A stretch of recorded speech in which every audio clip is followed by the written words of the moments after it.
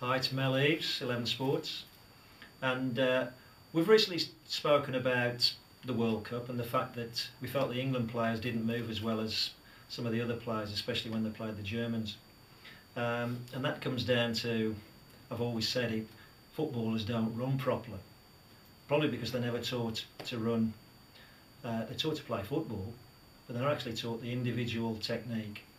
Uh, and this is what we this is what we're here for today, and I'm with Roger Walters, the running wizard.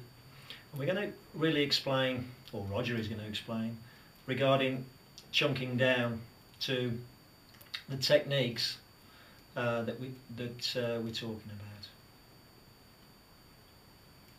Yes, Mel. Uh, between the two of us, we've discussed this on kind of many occasions. When we've been to matches together, you've looked at it from a perspective as the the kind of football coach end products. And I'm always harping on about this guy doesn't run properly, foot contacts are in the wrong place, he's not using his arms, he's not leaning forward. Uh, from a athletics coaching perspective, where it meets football, it's looking at the individual requirements of the players. Some might overstride, some might understride, shuffle if you like, and bringing the kind of trained eye of the sprints coach and developing around that individual their um, requirement for drills.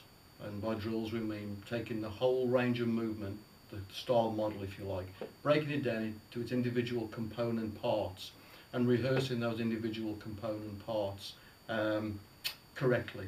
Um, saying in athletics is practice makes permanent and uh, the only way that you can be perfect is if you're practicing perfectly. So perfect practice makes permanently perfect. If you just pay lip service to the drills, all that happens is that you practice things incorrectly.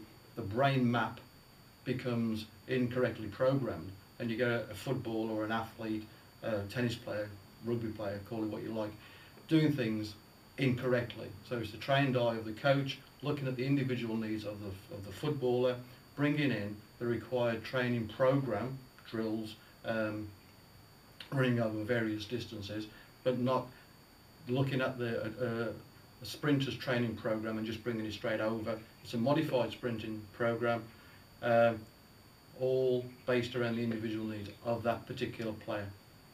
And that's what we do with drills. And say if you can bring that into a football team, footballers will become faster, become more proficient, more economical with their energy systems, will be able to play further through the match quicker, be a more valuable asset to the club and a more valuable asset to their teammates Simple as that.